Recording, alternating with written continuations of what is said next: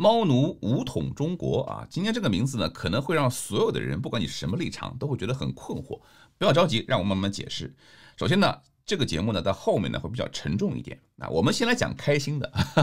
两天以前呢，肖美琴啊，台湾的副总统肖美琴呢，去参加了台湾的一个宠物的博览会啊。在博览会上呢，有人就递给他一只橘猫。因为它不怕人哦。对，来。那他会愿意给我抱吗？他可能会，因为我以前有一只橘猫。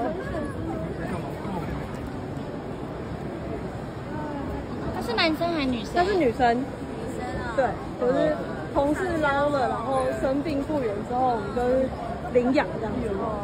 他几岁了？四只也都是。他现在一岁多。那个时候好像有在我们买一送一。啊，买一送一啊？没关系啊。我们要买一送一。哇，谢谢谢谢。因为肖美琴呢，她自己领养了四只流浪猫啊，所以这一看就是一个专业的猫奴，是吧？尤其是呢，当你第一次接触到一只猫，这只猫呢是在公共场合的，很不安嘛，那他把它先拿过来放到自己肩膀上，首先先避免跟它进行眼神的直接接触啊。猫对陌生人其实这方面是。你直接盯着它看，它会觉得你在威胁它，然后放过来，然后呢，哎，让让它的肚皮贴近你的身体啊。猫最脆弱的部分是肚皮啊，这个时候相当于把它保护起来。然后手呢，哎，你不能够，首先不能逆着毛摸啊，顺着毛摸，摸后脖颈，摸耳的后面，这两个呢是猫最。最有抚慰作用的，对猫来讲，因为你知道猫的小猫的时候嘛，老猫就是叼着后脖颈嘛，是吧？这两块呢是它最安心的地方，然后顺着毛慢慢的磨，声音放轻啊，这是一个我们标准的猫奴才会做出来的动作啊，其实跟跟抱小朋友差不多，是吧？跟抱小朋友差不多。那么在这个图里面呢，我们看啊，蔡英文呢，他是既养了狗又养了猫，是吧？他抱的呢是他自己的猫啊，所以这是他自己自己家里面拍的，不是在公共场合，所以无可厚非了，在家都不抱。但是当中这个赖清德呢，很明显不是猫奴啊，当然赖清德本身也不是，他是喜欢狗，而且他也领养了一只呢。呃，少了一只前腿的一只流浪狗，但是你看呢，它是在公开场合嘛，是也是别人递给他的猫，就把猫这么抱着，你想把猫的肚皮完全暴露在外是吧？而且你看这个猫的耳朵其实是扁平的啊，其实也有点跟习近平。手里捧的人猫有点一样，是吧？耳朵有点扁平的，有点敌意的啊。所以呢，赖清德一眼就看出来是混入我们猫奴的队伍里面的奸细啊，是一只狗奴。但是狗奴就狗奴吧，大家都是奴才，是吧？那那狗奴虽然比我猫奴要稍微低一等，但还是能够属于能够接受的对象啊。哎，老习这个这个动作是标准的错误动作啊！一个陌生的猫，你突然上嘴啊，这个是绝对不行的啊！把你推开算是赏脸的，一般就哗一爪子上去了。最有趣的是什么呢？肖美琴啊，在这个博览会参加完了以后嘛，她发了一个社交媒体帖子啊，这个不是在推特，也不是在 Facebook 上，很多人以为是假的，她是在那个 Threads 啊，就是 Facebook 旗下的一个类似于推特的这样一个社交软件啊，Threads 上就发了这个视频是吧？然后他还讲啊，我前两天问这个蔡英文嘛，要不要出来逛宠物展啊？他说要继续当宅女，而且还艾特了这个赖清德啊，说他行程太忙碌，所以呢，我代表两位来采购啊，赖清德下面这是本人。啊，说有你有帮我看这个斑斑的饲料跟水碗和项圈吗？斑斑呢，就是他赖清德去年领养的这只狗啊，就是他其实这个狗的左前腿是没有的啊，然后这个狗呢，现在是相当于是总统府里面的这个头号宠物啊，就好像英国的首相府嘛，头号宠物啊，拉里啊，那只猫啊，然后蔡英文呢下面也跟了个帖说，哎呀，你没跟我说有猫可以抱啊，这样我就会考虑出席了。就是这个对话，我一开始也以为是别人捏造的，是吧？后来我发现真的是真真正正在这儿。你看，这是蔡英文的 Threads 上账户，四十二万粉丝啊，赖清德二十四万粉丝，那都是官方打蓝标的官方账号。三个国家元首，一个前元首，一个现元首，还有一个是副元首或者说下任的元首的热门人选，这样的互动啊，而且这样的互动是以中文啊来实现的。真的让我觉得，让我这个猫奴啊，觉得是如梦似幻。我相信很多啊，像我一样的猫奴，就是中国出生的，像我一样的猫奴，或者说动物爱好者吧，也包括那些狗奴吧，是吧？这个都是一辈子做梦都想见到的场景。台湾人或者说在西方的人呢，你们可能无法理解，在中国的动物保护人士，在过去这二十年里面经历了什么样一个过程啊？我呢，我自己有两只猫。也都是捡的流浪猫啊，还不是我去宠物店领养的，是我就是在街头捡的流浪猫。然后我在上海的时候呢，我也参与了一些这个动物保护人士的一些活动。那就很早的时候，中国就开始有大量的捕捉这种野猫，是吧？然后送到呃有些省份去啊，吃猫的或者吃狗的，是吧？送到某些省份去屠宰。然后呢，中国很多动保人士呢就会去拦这个车，那是相当的勇敢。为这个事儿死了其实不少人啊，只是你们没有听到有报道。然后呢，也是相当具有争议性的，因为很多人特别的不理解，尤其是中国老一辈的人特别的不理解，这是畜生啊，这一车的畜生啊，而且这是人家的东西，是吧？甭管说人家是偷来的、抢来的，哎，你又没有什么法律依据，你去拦人家车干什么呢？所以呢，我只能以支持资源的方式，以及呢，在当时的中国的一些呃论坛啊或者社交媒体上，是提醒大家在这方面的注意。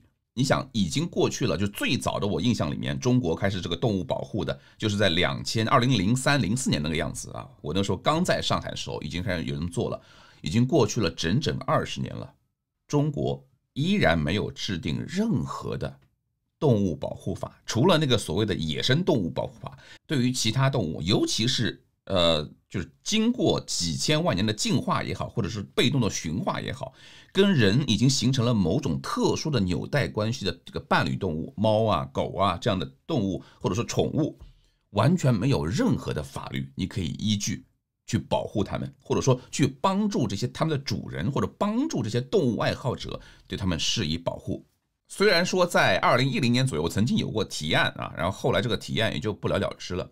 如果你去问一些法律人士啊，为什么不制定这个动物保护法，是吧？啊，他们会给你各种各样的技术上的这个难题啊，比如说你这个制定了以后啊，那别人这个杀猪啊、杀鸡啊这个事儿啊，中国人不是喜欢吃活鱼嘛，是吧？呃，活鸡活杀嘛，啊，这种怎么解决呀，是吧？这还是属于愿意跟你掏心窝说话的人，是吧？啊，其实真正的政府部门压根就不睬你啊，不管这些动保人士多么的积极的去呼吁，压根儿就不睬你。而且呢，这个动物保护呢，早些年还只是说防止他们很多人偷猫啊、偷狗啊，然后到了大概两千一零年左右的时候呢，开始慢慢开始出现了一种新的生态，就是中国有很多人啊，尤其是曾经暴露出来很同济大学吧，好像是大学生，开始呢去通过领养猫是吧？别人说啊，我这儿有猫要领养，谁要啊？领养过来啊，看起来说我要照顾它，其实回来进行虐杀。那一开始只是自己私底下虐杀，是吧？但是后来呢，开始发展成为拍摄这个虐杀视频，甚至可以放到网上去出卖、去牟利。现在呢，在中国，这个虐杀动物，猫啊、兔啊、狗啊，这个已经成了一条完整的产业链。就类似于抖音视频的这种完整的产业链，怎么样策划呀？甚至还有剧情啊，是吧？呃，怎么样玩出新的花样？怎么样可以，比如说让这个折磨的时间延长的更长，让他死的更慢一点，更惨一点？怎么样去制作？怎么样包装？怎么样分发？怎么样盈利？而且甚至已经不再仅限于向中国的潜在用户去分发、去出售这些视频，已经开始流传到世界上，以满足各种各样对这个东西有变态心理需求人的他的需要。那具体他们做了什么，我这边不方便描述。我觉得哪怕我描述我们这个视频都有可能会黄标，更不用说把这个实际的视频跟音频放出来了。我也曾经克制着极大的愤怒、极大的绝望。看过这些视频，作为一个记者，我必须了解到底发生了什么。那是一种什么感觉呢？如果你有孩子的话啊，就相当于是，比如说你看到呃哈马斯在以色列是吧？那时候十月七号曾经干过的针对孩子做的一些事情是吧？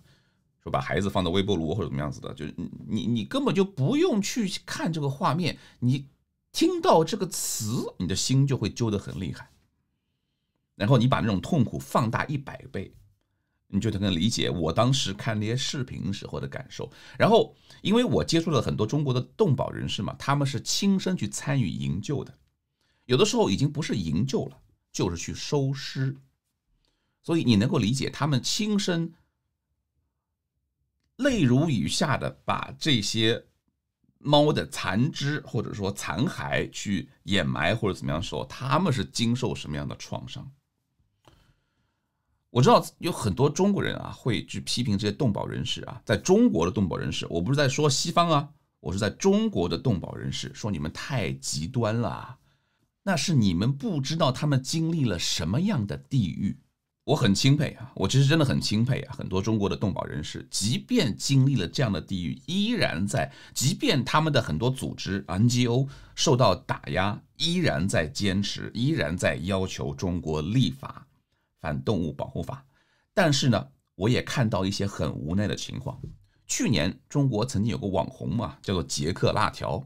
被人发现了，这个人上传了很多惨无人道的这个视频，而且还有很多挑衅的言语啊，就是针对这种中国有一种人啊，就是说啊，你们这些动保啊太极端了，所以我就故意去针对你们。你们不是怕别人杀猫吗？我就故意冲着你们这个情绪杀给你们看。所以这个网红呢就上传了很多啊，然后被人扒出来了。但是呢，中国没有法律能够制裁他，所以这些动保人士万般无奈，他们采取了什么方式？他们要求用寻衅滋事罪，就是中国这个著名的用来打击这个抗议人士或者打击言论的这个寻衅滋事罪来治这个杰克辣条。就我目前收集到的信息，这个人并没有入罪，很讽刺吧？就是你想要推进法治，希望中国能够立这样一个动物保护法，呃，立不来，我就要求用这个寻衅滋事罪来帮我出这口气。当然，我也不能指责他们，这是他们在采取以暴制暴的方式之外能够想到的唯一的可能的办法了。所以，当我讲述了这些背景之后，我不知道你能不能理解。当我看到台湾，或者说中华民国吧，是吧？那毕竟是用汉字嘛，可能很多人也觉得它是它是另外一个中国，或者中国应该有的样子。这个国家的前元首、现元首，可能是下任的元首，他们在同一个帖子里面热烈的讨论狗狗和猫猫。台湾是一九九八年制定的第一版的动物保护法，之后呢，连续二十多年吧，经历了多次的修正啊。现在台湾的动物保护，基于我有限的知识，我认为在亚洲已经是比较领先的了。九八年当时也是台湾发生了，好像是军队里面，如果我没记错的话，军队里面发生了这个虐狗的事件啊，所以在民间动保人士的呼吁下，就制定了动物保护法，直到现在是越来越健全，所以这在一定程度上也打破了中国的那些法律界人士说辩解啊，说中国为什么动物保护法这是跟民俗跟传统有关的，那你就是在说台湾不是中国嘛，是你是台标准的台独分子嘛，应该判死刑。即便是全世界以吃狗肉而闻名的韩国，韩国应该在比台湾更早，一九九二年左右就制定了动物保护法。韩国在今年一月份的时候制定了一项法律，说到二零零七年一月份，就是过了三年之后，韩国会在全国禁止所有的狗肉贸易，就是不准再养狗、杀狗和卖狗，把狗作为一种畜牧业的动物去饲养了。在韩国这样一个有着深厚的吃狗肉传统的国家，现在都已经变化至此。而中国呢？大家知道第一部全世界第一部的动物保护法是哪个法律吗？是一八二二年英国制定的禁止虐待动物法令，也叫马丁法令。因为呃，撰写这个马法令的人是一个人道主义者，叫查理马丁。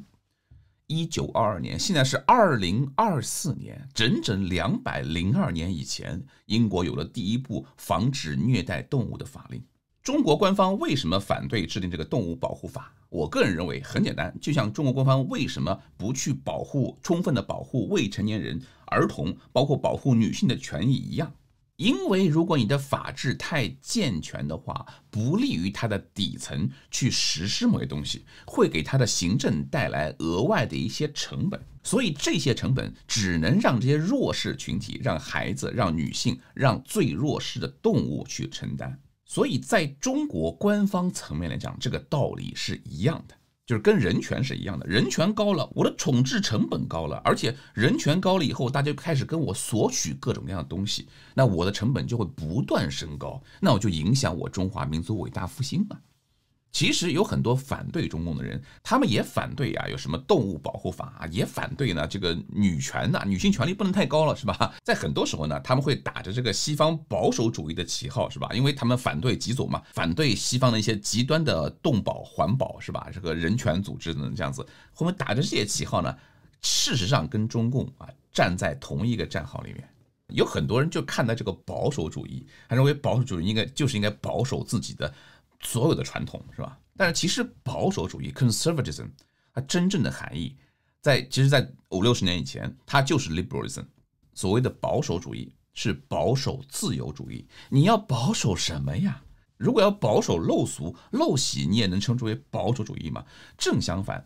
保守主义要求主张的，尤其它是以很多时候是以基督教的一些基本原理作为主张的，要保守每个人的权利，乃至于要保守动物的权利。为什么英国在一八二二年制定了这个这样一个反对虐待动物法案？因为圣经里规定，虽然说圣经里规定人的确是比动物要高一点的，但是人呢应该去管理动物，应该抱着一颗仁慈的心去管理动物。上帝创造其他生灵不是让你虐杀的，而这个东西在中国传统里面是没有的。当然，儒家里面也不是没有提到过，比如说啊，孟子劝谏梁惠王啊，就提到过说恩及禽兽。他说这个梁惠王嘛，你既然看到牛被杀都不忍心是吧？你都恩及这个牛了，那你为什么不实行仁政，是让你的人过得更好呢？他其实更多的还是强调于这个人权要高于这个动物的权利是吧？这这当然是正常的，这当然是应该的，人权的确是要高于动物的权利。但是你想，中国古代人权已经很低了。然后比那更低的话，那还能低到什么样？那动物完全就是就是当物件儿一样，我可以随便用来摆弄啊，或者是凌虐的。所以中国的传统里面是没有这一块东西的。孔子认为人和禽兽的区别在于什么呢？人有义，禽兽没有义啊。所以正因为禽兽是无义的东西，它对别人都没有义，所以你对它没有义，某种程度上也是合理的。所以在中国的传统里面。是没有这一块东西让你去保守的。我知道很多人非常反感西方的这个极端动保，是吧？我也很反感，尤其是那些呢，去要去偷窃别人的财物啊，要去强行的各种各样的方式去改变呃别人的生活习惯，然后你吃肉啊，我要各种羞辱你，你吃肉你太可耻了，你禽兽啊，等等这样子。我是反对在西方的本身已经在全世界最健全的法治环境下去用这种不法治的方式去强行去改变别人意见的。它并没有效果，只会让人反感，也不利于他的这个观点推广，所以我是反对的。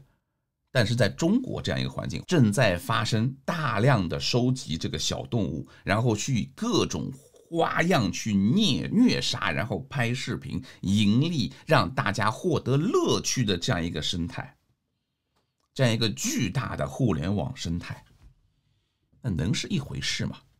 那我的标题叫做“猫奴武统中国”。有的人可能会觉得啊，你是难道说你要让这个台湾领导人去武统中国吗？那台湾人可能会说，我们才不要武统中国呢，我们只想过好现状，是吧？过好我们这个日子，你不要来烦我们就好了。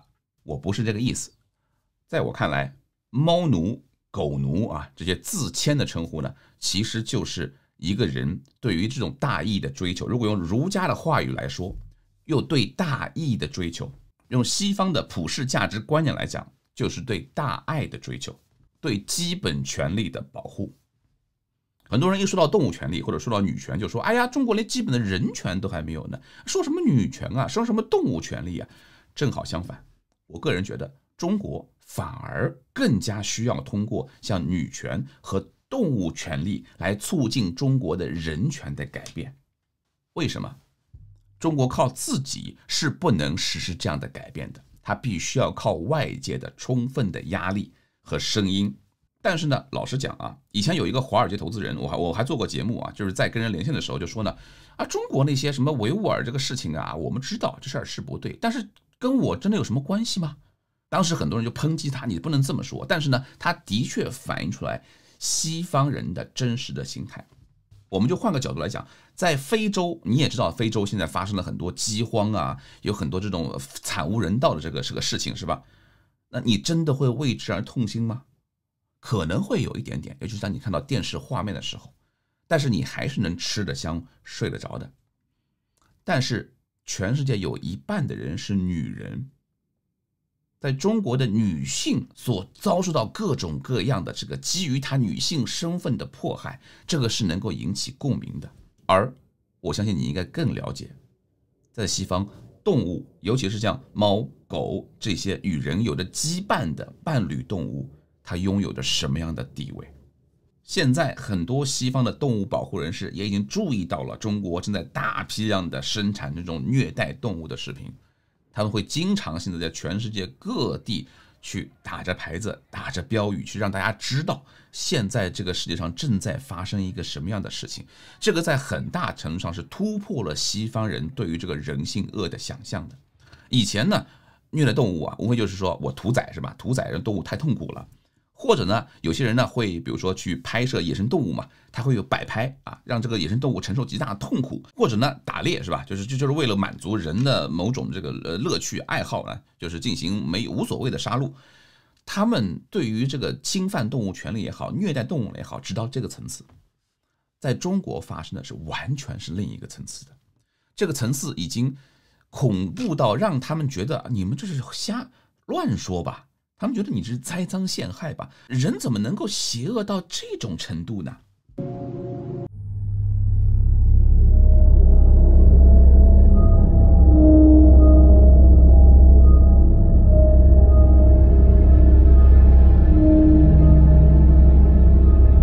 是其实是最大的一个可以撬动中国以外的明星去对中共施加压力的这样一个方式。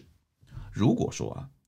采用这种路径，然后能够让中共呢能够修一个反动物保护法，这个时候按照儒家的原则啊，哎，孟子劝谏梁惠王的原则，连动物都有这样的基本保护，那我们人呢？我们人的权利呢？或许能够促使更多的人反过来去索取那些本该是属于自己的自然权利。说起来也比较巧合啊，我也不知道为什么。很多这种反贼吧，知名的反贼啊，都是爱猫人士啊。比如说这个推特上那个李老师是吧？呃，头像就是一个猫。然后呃，多伦多方脸啊，也是个机器猫啊，也算是猫吧，是吧？那五月散人更加是这个猫啊，就是经常会抢镜 啊。呃，我也是个猫奴啊，虽然我不是什么著名的反贼，但是我也算是个猫奴。我觉得猫啊，或者说宠物呢，在很多时候就代表了人的一个底线，一个对世界的基本态度。我相信所有中国背景的喜欢猫的人，如果你们愿意去看这个世界的真相的话，你们的心都碎过啊。所以说你在心碎过之后，重整起来的不能够摧毁我的，会让我更强大。所以，所谓猫奴武统中国，并不是说台湾武统中国，而是台湾所体现出来一种有别于中国的传统，但是与普世价值更接轨的这样一种价值观念。这种价值观念应该来统一中国。我的猫呢，去年过世了，享年二十一岁。我是在二零零二年那个时候捡的它，捡到的时候大概就三四个月大，在我这当时住的房子前面的草地上，是吧，在那打滚。它也算是高寿吧，啊，这辈子也算是算是享了福了。虽然我离开中国以后呢，没有能把它带出来。但是呢，就是我母亲相当于是就把它 当成一个孙女儿养了。养猫呢，让我有很大的收益。首先，第一个，他们给予了我很大的陪伴，我感谢他们，让我能够有这样个机会去爱他们。其次呢，他们也让我学会了照顾一个东西。其实后来，当我变成奶爸之后啊，我照顾我的孩子的时候，我突然就觉得，其实这些东西我都干过。给孩子换尿布的时候，就像那个时候给猫。铲这个猫砂哈，换猫砂是吧？哎呦，那个猫的那个屎的味儿啊，比小孩的屎的味儿臭多了，你知道吗？不算啥。而尤其是呢，给小孩洗澡的时候，那更给猫洗澡那会儿，我那时候背上啊很多这这个地方啊很多抓痕，就是有个猫拼命的这样窜出来往外跑，然后就扒着我肩上唰唰唰唰唰唰。这给小孩洗澡太容易了是吧？那任意摆布啊。所以这也算是他们给我做了一个提前的这个育龄培训吧。啊，我也特别的感谢他们。第三点呢，养猫的过程里面呢，其实让我有思考很多。我开始就给我开拓了很多眼界，给我切换了很多的角度。猫，我们之所以喜欢它，其实我个人是更欣赏猫的倔强啊，相比于狗的温顺和忠诚啊，我更喜欢猫的倔强。那我我们之所以作为猫奴呢，无非就是觉得这个猫的这种阴柔之美。但是呢，就我们也知道，就是猫其实是在野外啊。是最凶恶的一种动物，因为它有着非常强大的捕食的本能和本领，而且这个猫呢，它捕食的时候，它并不是就为了吃，它很多时候就是为了玩儿，啊，就是无端的杀戮。所以呢，猫一度呢在澳大利亚野外呢，曾经造成了很大的生态危机。澳大利亚曾经还组织过就是猎猎杀猫嘛，就是甚至是就说我杀一只野猫啊，多少钱这样子的，一次性猎杀了两百万只野猫。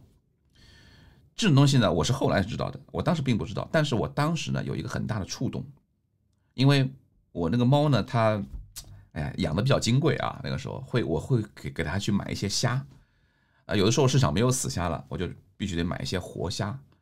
那时候我突然就意识到，我为了这样一个生命，只是为了照顾它的一餐，我要屠杀这么多的生命。而且虾其实是有痛觉的，是吧？我相信大家煮过虾都知道。他是有强烈的痛觉的，那我如何自洽呢？你算是一个慈悲的人，还是一个自私的人呢？所有这一切都融入到我之后的几十年里面，对于整个世界、对于整个人生的思考里面去。类似这样的讨论，你会在世界各国关于这个动物保护法律的制定啊和修正里面啊，这种辩论啊会屡见不鲜。在有些人看来，你这是吃饱了没事干，但是正是这样的讨论。